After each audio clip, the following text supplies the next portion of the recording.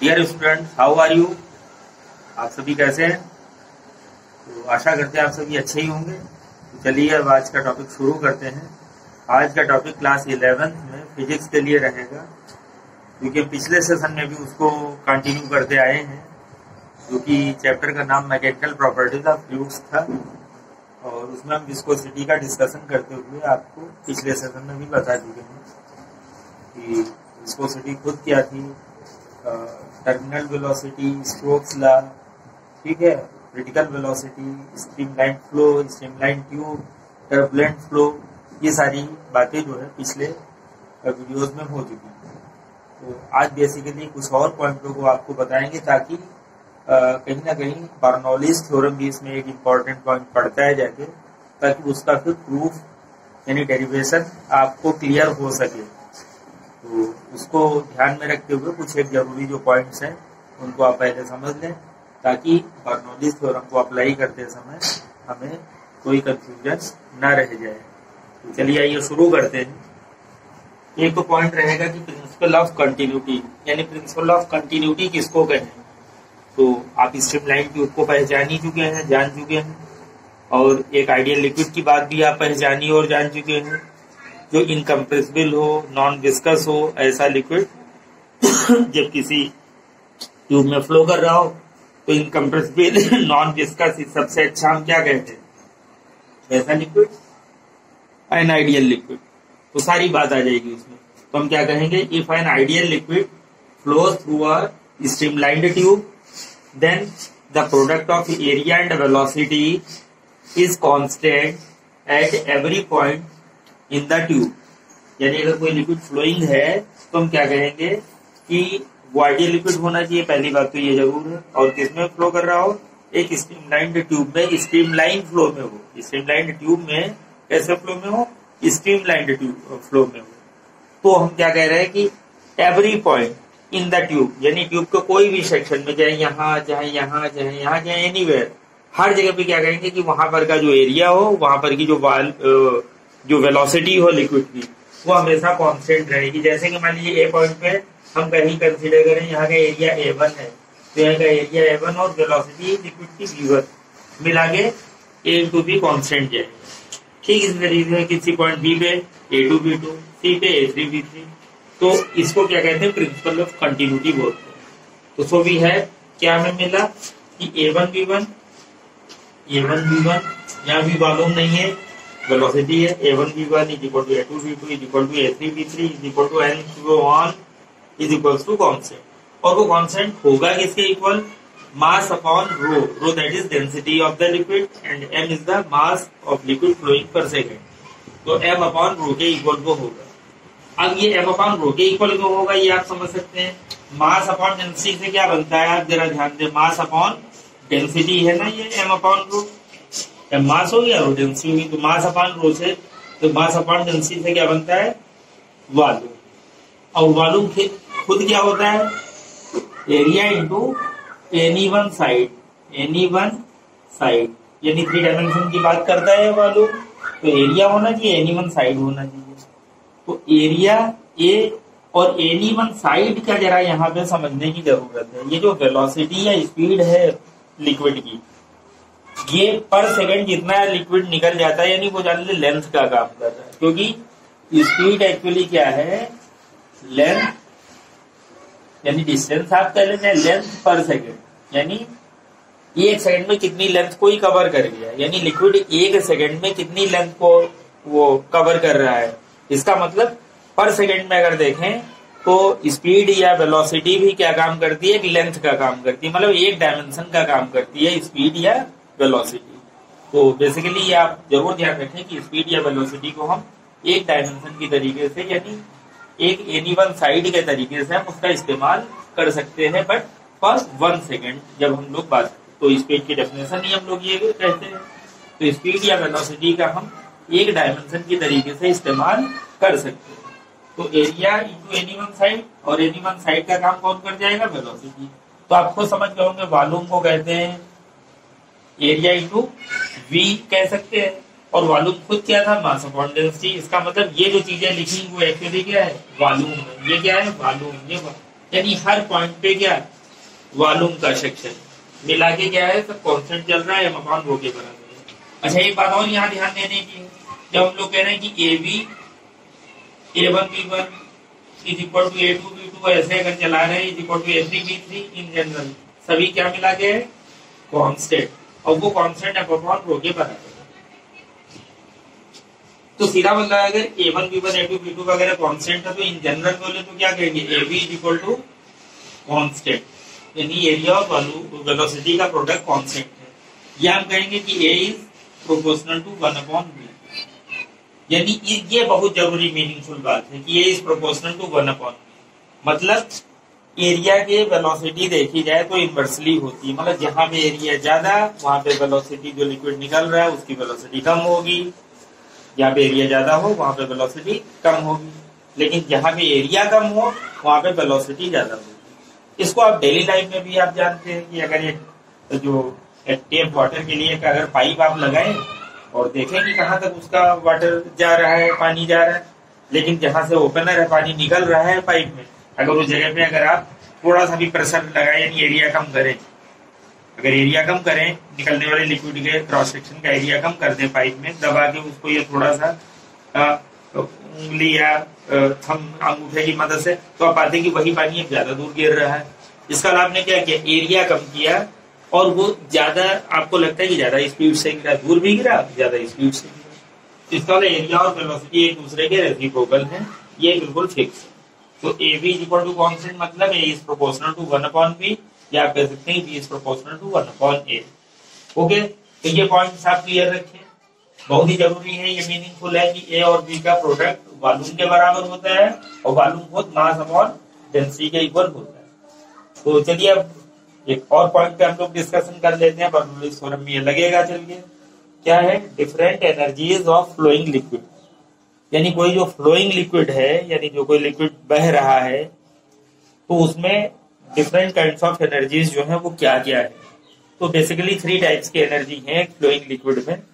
और यहाँ आप ये कह के चल रहे कि वो एनर्जी एक तो लिक्विड में प्रेशर ज़रूर अप्लाई होता है तो एनर्जी प्रेशर के फॉर्म में ज़रूर यहाँ कंसिडर करनी चाहिए तो एक प्रेशर एनर्जी हो जाएगी।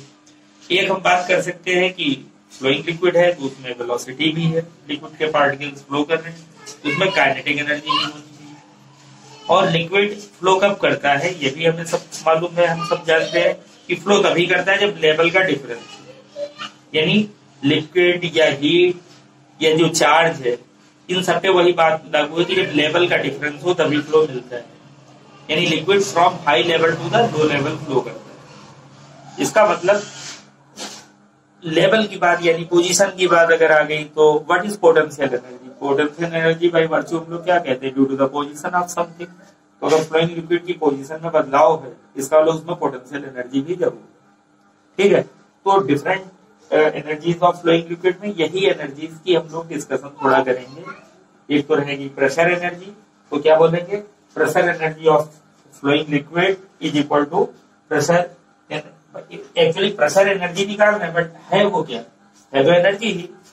तो pressure energy of flowing liquid is equal to energy को निकालने में हम लोग क्या कैलकुलेट करते हैं? वर्क डन एवरीवेयर यानी कोई भी टाइप की अगर एनर्जी हमको निकालनी है तो हम वहाँ पे वर्क डन को ही कंसीडर करते हैं। तो कोई भी एनर्जी कहीं भी निकालनी हो तो हमको आ, क्या कहना पड़ेगा? हमें वर्क कैलकुलेट करने के लिए अप्लाई करना पड़ेगा। तो देखें कि pressure energy of flowing liquid is equal to क्या रहेगा? वर्क डन और वर्क खुद क्या होता है? फोर्स इंटू डिस्प्लेसमेंट तो फोर्स हो गया और डिस्प्लेसमेंट का मतलब है कि लिक्विड कितना आगे को फ्लो कर गया। गिवन टाइम में कितना आगे को, यानी वो लेंथ डिस्प्लेसमेंट का काम कौन करेगा? लेंथ एल अब फोर्स को आप जानते हैं कि पीए लिख सकते हैं क्यों? क्योंकि आपने पढ़ रखा है कि pressure is equal to force upon area होता है। तो अगर एफ़ को लिखें तो क्या हो जाएगा? पीए हो जाएगा। तो एफ़ बन गया पी ए और ये एल है तो पी ए एल मिला के पल या ऐसे आप पढ़ सकते हैं।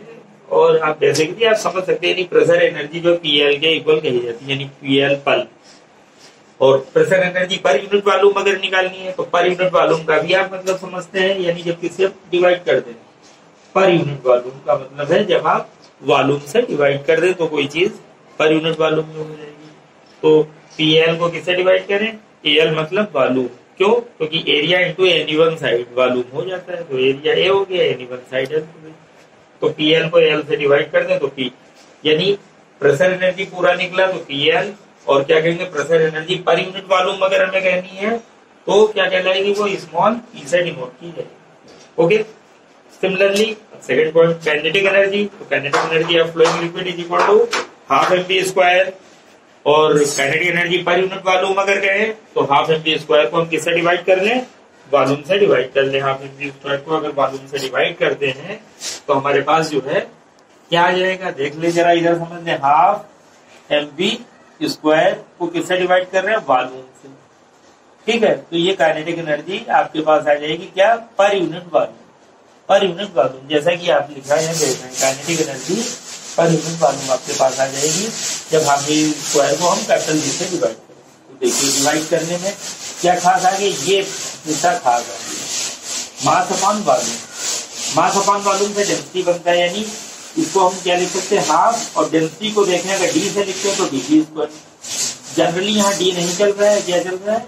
रो चल रहा है। लिक्विड की डेंसिटी हम लोगों ने क्या ले रखी होती है? रो रो डेंसिटी के लिए सिंपल यूज़ हो रहा है। तो half rho B square okay तो ये हो गया पर यूनिट मालूम क्या गया हाफ़ रो स्क्वायर जहाँ पे एम अपॉन बी को हम लोग क्या कह रहे हैं? रो कह रहे हैं, यानी यही हमने आपको अभी समझा फिर potential energy of flowing liquid तो potential energy of flowing liquid is equal to potential energy आप जानते हैं कि एमजीएस से देते हैं तो एमजीएस होगी और also potential energy per unit volume अगर बोले तो एम जी एस को वालूम से डिवाइड कर दें। तो यहाँ भी एमजीएस को जब वॉल्यूम से डिवाइड करेंगे तो हम एम अपॉन वॉल्यूम यानी डेंसिटी बन जाएगी रो से लिखेंगे यानी रो जी एस कैल तो आपने फाइनली क्या देखा कि प्रेशर एनर्जी थी काइनेटिक एनर्जी थी और पोटेंशियल एनर्जी थी।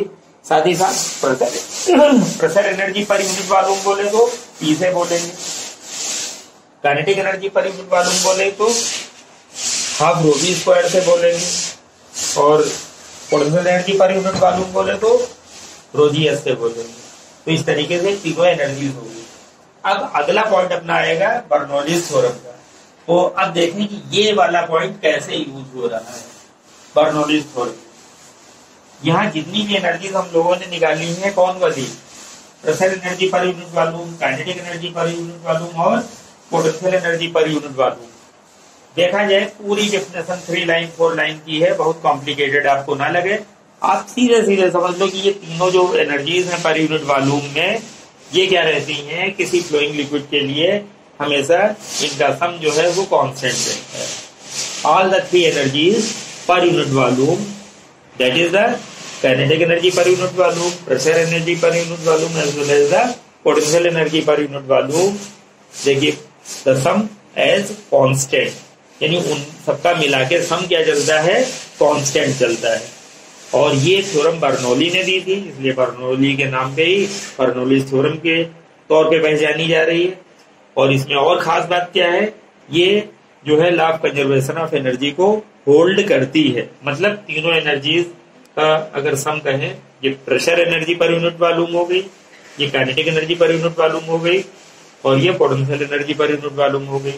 तो sum of all the three energies for unit volume is always constant ठीक, इसका मतलब क्या हुआ कि अगर मान लो कहीं प्रेशर एनर्जी कम है तो वहाँ कैनेटिक या पोटेंशियल बढ़ के अपना बैलेंस बना लेगी।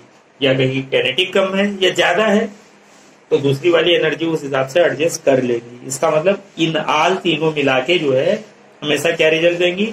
एक कंजर्व रहने वाला रिज़ल्ट देंगी। तो चलिए इसका स्टेटमेंट हम पढ़ देते हैं।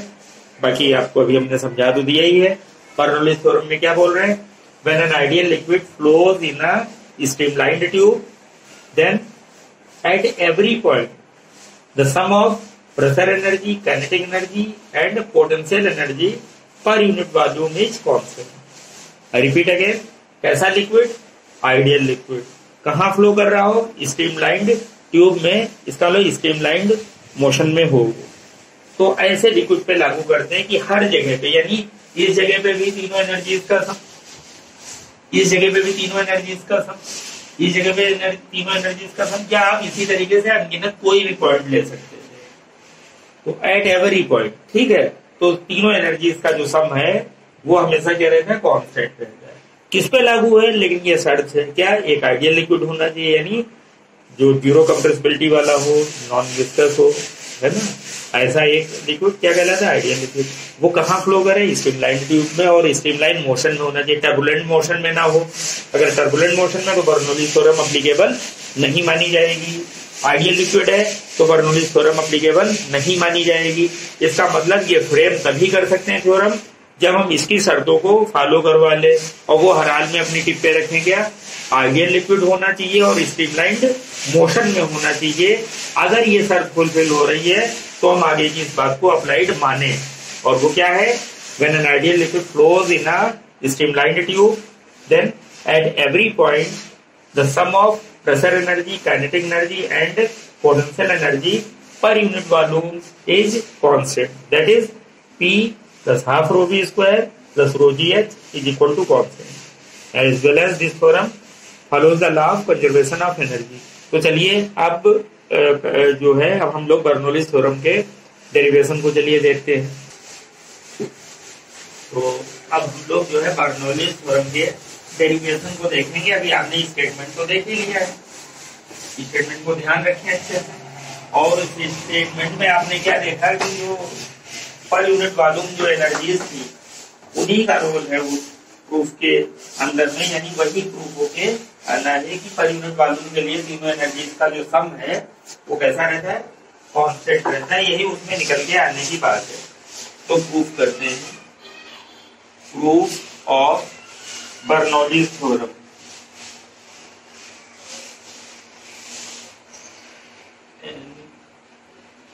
Bernoulli's theorem ठीक है प्रूफ ऑफ़ बर्नौलियस थ्योरम की बात हम लोग करते हैं। तो जो बर्नौली थे वो स्विस फिजिक्स थे यानी स्विस से वो बिलोंग करते थे स्विस फिजिक्स थे और आ, उनका जो अपना जो समय रहा ड्यूरेशन रहा वो 1700 से 1782 के बीच का रहा। 1782 के बीच में वो एक स्विस फिजिक्स थे स्विस के स्विस फिजिक्स ठीक है? इन्होंने ये स्टेटमेंट और इसका डेरिवेशन दिया। अलग अपना रोल उनका और भी है मैथमेटिक्स में भी उनका अपना रोल रहा है। तो जो है, चलिए बर्नोलिस थ्योरम के बारे में हम लोग आते हैं। तो ये उनका एक अपना जीवन परिचय है। पहले की स्विस को बिलोंग करते और ये उनका कार्यकाल रहा है सेवनटीन सेंचुरी से सेवनटीन एट्टी टू के बीच का वो अपना, उनका जो है, वो जीवन है। तो चलिए देखते हैं कि जैसे वो स्ट्रीमलाइन फ्लो की तो बात हम लोग करनी पड़ेगी स्ट्रीमलाइन मोशन में। तो ये एक स्ट्रीमलाइन ट्यूब हमने कंसीडर कर दी। ओके तो यहाँ इस पॉइंट का यहाँ पे जहाँ से लिक्विड क्या करेगा? एंट्री करेगा ना? इसको पॉइंट हम लोग एक्स जैसे मान लें। और जहाँ पे लिक्विड आउटलेट होगा, यानी जहाँ से लिक्विड निकल जाएगा, यहाँ पे हम वाई पॉइंट मान लें, ठीक है? यहाँ का एरिया क्रॉस सेक्शन जैसे हम कहना चाहें कि भाई ये एरिया क्रॉस सेक्शन ये वाला क्या है? इसको भाई कह दे रहे हैं क्या है? A one okay? और यहाँ पे जो लिक्विड जो रन कर रहा है, यहाँ यहाँ जो लिक्विड रन कर रहा है, उसकी वेलोसिटी वी वन है। और यहाँ पे जो प्रेशर बनेगा, उसको क्या कहते हैं? P one okay? तो लिक्विड मान लीजिए कि वो फ्लो करता हुआ जो है, वो ऐसे आ रहा है लिक्विड और स्ट्रीमलाइन है, इसका वाला डिफरेंट लेयर हो सकती है, लेकिन एक दूसरे में ओवरफ्लो नहीं करेंगी। ये स्ट्रीमलाइन की विशेषता हमें कहनी पड़ेगी। अगर ओवरफ्लो कर गई है दूसरे में तो टर्बुलेंट होने लग जाएगा ओके तो एक्स वाले पॉइंट पे जो चीज़ें हमने A one B one P one वगैरह मानी है, वो जरा पॉइंट हम लोग यहाँ पे, भाई ये एरिया क्रॉस सेक्शन इसको हम लोग ए टू बोलते हैं ना? और यहाँ पे जो लिक्विड जो एंट्री जो करा हुआ था वी वन वेलोसिटी के साथ वहाँ था, यहाँ पे जो आउटलेट पे है, बाहर निकलेगा, वो किस वेलोसिटी से? वी टू वेलोसिटी से बाहर निकल गया। तो ए वन एरिया हो गया। और यहाँ पे प्रेशर जो हम लोग मान लें, वो पी टू है। यानी वहाँ के symbol P one B one और ए वन जैसे और यहाँ के symbol P two B two और ए टू जैसे। तो यहाँ पे लिक्विड एंट्री किया। तो work is done on the liquid बोल देंगे। क्या? ऑन द लिक्विड क्योंकि लिक्विड को एंट्री करने में यानी अगेंस्ट जो है वर्क चाहिए। तो और एक बात और हम लोग कह लें कि यानी अगर ग्राउंड लेवल अगर ये हम कह लें ऑरिजेंटल लेवल है तो यहाँ से ये कुछ ना कुछ ये भी आप देख रहे हैं कि हाइट है, कुछ ना कुछ ये भी हाइट है। सपोज़ कर लें कि अगर ये एच वन कह लें, और सपोज़ कर लें कि ये एच टू कह लें। लिक्विड का फ्लो देखें, तभी होगा जब लेवल में डिफरेंस हो। नहीं तो फ्लो लाने के लिए हमें एक्सटर्नल सपोर्ट की ज़रूरत पड़ेगी, जैसे कि कोई जेट पंप हो या ऐसे आपको कहना पड़ेगा। नहीं तो फ्लो नेचुरल वे में तभी होगा जब हम कह लें कि लेवल का फ़र्क है। तो ये आप बात समझ गए होंगे। स्टेटमेंट भी आप इसी तरीके से लिख लेंगे। Let there is streamline tube X Y in which ideal liquid अब आइडियल कहते हैं इनकम्प्रेसिबल और नॉन विस्कस वो सब ना कह सीधे हम लोग क्या बोल रहे हैं आइडियल तो ideal liquid in a streamlined tube is flowing in a streamline streamlined way, then हम क्या कह रहे हैं कि पॉइंट एक्स पे हम अप्लाई करें और पॉइंट वाई पे अप्लाई करें। किसके लिए? वर्क डन के लिए अप्लाई करें। तो देखें work done work done on the liquid at X यानी जहाँ पे वो क्या करें इंटर कर रहे तो work done on the liquid हो जाएगा। कितना हो जाएगा? भाई वर्क डन आप निकाल ही चुके हैं। अभी हमने एनर्जी आपको बताई थी प्रेशर एनर्जी वगैरह। तो आप क्या लिख लेंगे? फोर्स इंटू डिस्प्लेसमेंट जैसा हो जाएगा work force into displacement displacement है ना, वर्क वर्क निकाल रहे हैं तो फोर्स इंटू डिस्प्लेसमेंट और पी वन फोर्स क्या होता है? सॉरी वर्क क्या होता है? फोर्स इंटू डिस्प्लेसमेंट और फोर्स को प्रेशर में ले जाए तो पी वन ए वन और हमने आपको बताया था कि डिस्प्लेसमेंट यानी उसका काम वेलोसिटी या स्पीड या लेंथ का काम कर जाती है। तो P one A one V one ये हो गया। Similarly work done by the liquid अब ये आउटलेट में निकल रहा है एटमोसफियर के अगेंस्ट में तो ये बाई द यानी इसके द्वारा काम किया जाए तो by the liquid at Y is equal to similarly आप कहते हैं वहाँ पे क्या है? A two P two A two और पी टू ओके तो देर फॉर नेटवर्क एक जगह पे एंट्री कर रहा है, एक जगह पे आउटलेट हो रहा है, एक जगह पे हम ऑन द कह रहे हैं, है ना? एक जगह बाई कह रहे हैं। तो आन और बाई अपोजिट तो वर्ड है इसका मतलब दोनों ऐड नहीं एक पॉजिटिव अगर तो एक निगेटिव करना पड़ेगा, यानी दोनों एक अपोजिट है। There network net work done तो net work done on the liquid on the liquid is equal to हम दोनों को डिफरेंस करने यानी P one A one V one minus P two A two V two okay ये आपको समझ आ गया होगा। Net work on the liquid on the liquid ही कहेंगे बाई द लिक्विड क्यों नहीं कहेंगे? क्यों? क्योंकि आफ्टर ऑल लिक्विड को एंट्री करना ही है। तो ऑन द लिक्विड तो हो ही रहा। आउटलेट पे जो निकल पाएगा, यानी हर हाल में ऑन द लिक्विड वाला वर्क का सेक्शन बड़ा है। आउटलेट उसके कंपेयर में फिर लेसर है। यानी हम P two A two P two को ही P one A one B one में से सब्जेक्ट करेंगे। बट हमें ये मालूम है, क्या जानते हैं? A one B one is equal to A two B two और इज़ इक्वल टू हम उसको क्या लिख सकते हैं? एम अपान रू कैसे? By the principle of by the principle of continuity principle of continuity अभी हमने आपको बताई थी कि हर जगह पे एरिया और वेलोसिटी का जो प्रोडक्ट है वो कांस्टेंट रहता है और वो सब के किसके बराबर होता है? एम अपॉन रो यानी मास अपॉन डेंसिटी के इक्वल होता है। तो जहाँ जहाँ A one B one A two B two वगैरह पड़े तो सबको क्या लिख सकते हैं? एम अपॉन रो लिख सकते हैं। सो वी है सो वी है सो वी है यानी हम देखें ऊपर की इक्वेशन में कि नेट वर्क डन क्या बन जाएगा? Net work done network done अब हमारे पास P one A one V one minus P two two है ना? ये ये, यहाँ पे यहाँ पे जाए। ए वन बी वन की जगह भाई पी वन तो ऐसे रहा। और ए वन बी वन की जगह क्या लिख सकते हैं? M upon rho M upon rho minus P two ऐसे रहा, और ए टू वी टू की जगह भी क्या लिख सकते हैं? एम अपॉन रू सीधा सा मतलब है कि इसमें हमने ए वन बी वन की जगह भी एम अपॉन को ले लिया, और ए टू वी टू की जगह भी हमने एम अपॉन रो ले लिया। क्यों? क्योंकि पहले प्रिंसिपल ऑफ़ कंटिन्यूटी हमें मालूम है। तो P one minus P two और एम अपान रो इसमें हो गया कॉमन तो ये हम एक इक्वेशन इसको कह सकते हैं, ठीक है? यानी नेट वर्क डन आ गया। अब आप नेट वर्क डन जो निकाले हुए हैं तो आपको क्या करना चाहिए कि आप, जो नेट वर्क होता है, वो एनर्जी के चेंज के बराबर होता है। यानी टोटल एनर्जी देखेंगे कि वहाँ पे कितना होगा, वो वर्क डन के बराबर बैठेगी चल के। तो यहाँ पे अब हम काइनेटिक एनर्जी का देखें पोटेंशियल एनर्जी का देखो, देखें, ठीक है? काइनेटिक एनर्जी और पोटेंशियल एनर्जी का वैल्यू देख के और उसको जो है, फिर हम नेट एनर्जी में चले जाएँ, यानी उसको हम सॉल्व कर लें। ठीक है? तो चलिए देखते हैं।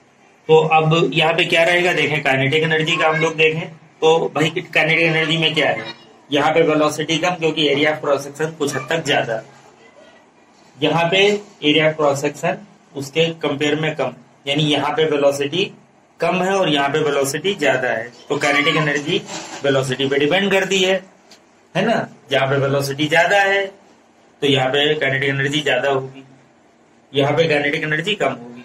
तो काइनेटिक एनर्जी में यहाँ से यहाँ तक क्या मिला? इंक्रीज मिला। तो इंक्रीज इन काइनेटिक एनर्जी हम लोग देख लें। ठीक है और पोटेंशियल में जरा देखें। ये लेवल और ये लेवल जैसा कि फिगर में हम लोगों ने बना रखा है, ये ज़्यादा है एच वन ज़्यादा है और एच टू कम है।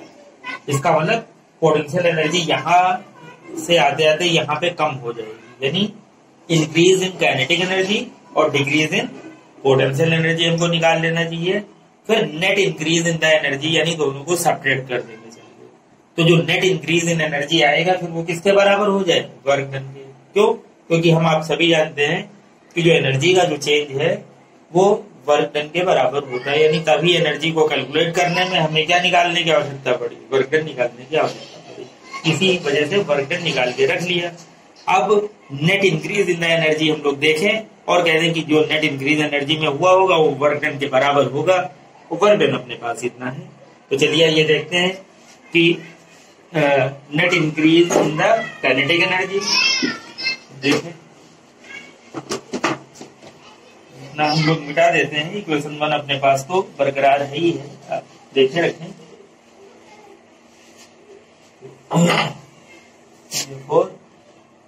Net increase in the kinetic energy is equal to half M B square के रूप में अगर जाए, ठीक है हाफ़ एम बी स्क्वायर तो बी टू ज़्यादा है, बाद वाली velocity half M B two square minus half M B one square तो यहाँ पे हम देखें तो हम चाहे तो हाफ़ एम कॉमन ले सकते हैं। एम कॉमन ले लिया और क्या हो गया? B two square minus B one square okay तो ये चीज़ आ गई। Also net decrease in potential energy ने बताया था कि पोटेंशियल एनर्जी में डिक्रीज होगा। क्यों होगा? क्योंकि ग्राउंड से ये हाइट ज़्यादा है ग्राउंड से ये हाइट कम है ना? इसलिए पोटेंशियल एनर्जी में डिक्रीज होगा। तो तो पोटेंशियल एमजीएच के फॉर्म में होती है। तो एम जी एच वन यानी पहले वाली एनर्जी ज़्यादा है और एम जी एच टू ये बाद वाली एनर्जी कम तो एम जी कॉमन ले लें तो H one minus H two कह सकते हैं। Therefore net increase in the energies यानी इन दोनों एनर्जीज में मिला के नेट जो इंक्रीज हुआ वो कितना हुआ? तो आप नेट इंक्रीज में क्या कर देंगे कि काइनेटिक एनर्जी और पोटेंशियल एनर्जी को आप सेपरेट कर देंगे। तो kinetic energy minus potential energy यानी जो नेट है, आपके पास इतना आ जाएगा। यानी half M V two square minus V one square और minus M G H one minus H two okay तो और इसको इक्वेशन नंबर टू दे दें फिर net increase in the energy किसके बराबर होनी चाहिए? वर्क डन के बराबर होनी चाहिए। But net increase in the energy is equal to the net work done. Net work done है ना? Therefore, from equation one and two तो वन और टू वाली इक्वेशन से हम इस चीज़ को कह सकते हैं net increase in the energy ये मिला, और ये किसके इक्वल होना चाहिए? नेटवर्क डन तो नेटवर्क डन कितना है अपने पास? P one minus P two साथ में है एम अपॉन रो और is equal to net increase in the energy ये आपके पास है सब कुछ, यानी half M half M V two square minus V one square half M V two square minus V one square minus M G H one minus H two okay ऐसे। ये इसमें कोई कंफ्यूजन नहीं होना चाहिए। एक तरफ़ P one minus P two M upon rho हो गया, ये रहा। और एक तरफ़ net increase in the energy वो क्या है? Half M V two square minus V one square वो ये रहा। माइनस ये रहा minus M G H one minus H two M G H one minus H two तो ये आ गया अपने पास। अब इसको हमें सॉल्व करना है। तो सॉल्व करने में पहली बात तो एम अपॉन रो हटना है। तो यानी एम अपॉन रो से यहाँ भी डिवाइड कर लें यहाँ भी डिवाइड कर लें यहाँ भी डिवाइड कर लें तो लिखें divide divide in each step in each step by M upon rho then we get then we get M upon rho से यहाँ डिवाइड करेंगे, भाई एम अपॉन रो आप लगा देंगे। एम अपान रू तो एम अपान रू पूरा पूरा कैंसिल हो जाएगा। तो यहाँ पे क्या रहेगा sir P one minus P two यहाँ पे देखें हाफ़ एम और यहाँ एम अपान रो लगाए डिवीज़न में तो ये तो एम लिखा है। डिवीज़न में लगाए एम अपॉन रो अपॉन वाला रो ये आ गया। और साथ में क्या है? V two square minus V one square minus M G इसके नीचे भी वही काम करें एम अपॉन रो तो एम और अपॉन वाला रो ये आ गया। H one minus H two तो P one minus P two is equals to M M cancel हो गया।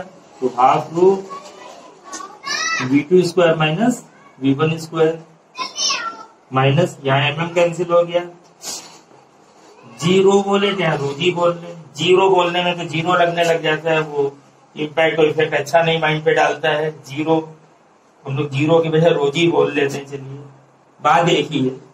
तो रोजी और एच वन माइनस एच आप सिंप्लीफाई में क्या करें कि जिनके साथ सिंबल वन वन वन लगे हैं, यानी जैसे पी वन है, या half rho V one square है, या रोजी एच वन ये सब क्या करें? एक साइड यानी लेफ़्ट में लिए और जिनके साथ सिंबल टू टू टू वाले हैं, जैसे पी टू है half rho V two square मिल जाएगा, है ना? और रो जी एच टू ये सब सिंबल कहाँ रखे राइट साइड में मतलब सेपरेट कर लें और करके यही कर दें तो पी वन प्लस इसमें देखें, ये वाला जब जाएगा माइनस का है, यहाँ उधर प्लस का हो जाए तो half rho V one square और यहाँ भी माइनस का है ये वाला, उधर जाके प्लस का हो जाएगा रो जी एच वन और is equal to P two को इधर लाए, यानी पी टू प्लस यहाँ देखें तो half rho B two square है ये क्या? ये इसमें half rho B two square और माइनस ये माइनस मिलकर प्लस हो जाएगा। तो रो जी एच टू इस तरीके से आपने देखा कैसा स्टेटमेंट निकला? P one plus half rho B one square plus rho G H one equal to P two plus half rho B two square plus rho G H two okay और और in general in general यानी ये तो दो दशाओं का है। In general हम one one one, two two two, simple हटा दें, सिंपली लिखें क्या? P plus half rho V square plus rho G H is equal to क्या लिख पाएँगे? कॉन्स्टेंट लिख पाएँगे, है ना? यही तो हो पाएगा। जैसे P one B one is equal to P two B two बोलते हैं हम लोग ना, जैसे इक्वेशन जैसे कि P one B one is equal to P two B two इस टाइप बोलते हैं। देन हम लोग क्या कहते हैं कि P B is equal to constant इसका अलग कहीं अगर P is equal to constant लिखा तो हम कह सकते हैं आसानी से P one B one is equal to P two B two is equal to P two P three B three ठीक वैसे आप जैसे यहाँ लागू करते हैं। वैसे आप यहाँ जान लीजिए अगर ये कॉन्स्टेंट तो आप क्या बोलेंगे? दो स्टेजेस में, कि एक्स और वाई कि P one plus half rho V one square plus rho G H one is equal to P two plus half rho V two square plus rho G H two तो इस तरीके से जो है Bernoulli's theorem का ये derivation आपको पूरा हो जाएगा। तो आशा यही करते हैं कि आप इस डेरिवेशन को अच्छे से देखें और ज़रूर इसको प्रैक्टिस में लें, क्योंकि ये एक इम्पोर्टेंट पोर्शन भी बनता है इस चैप्टर का। और जो है, इस पे बेस्ड न्यूमेरिकल भी इशू बनते हैं कि पूछ लिए जाते हैं। इसलिए आप इसको अच्छे से तैयार करें और वीडियो क्लिप को देखें। और आपसे हम यही रिक्वेस्ट करना चाहेंगे कि आप लाइक सब्सक्राइब और शेयर करना ना भूलें, ताकि आप भी अपडेटेड रहें और मैक्सिमम जिन लोगों तक भी वीडियो पहुँच पाती है वो लोग भी हमसे जुड़ सकें और हम भी आपसे जुड़े रह सकें। Okay thank you have a nice day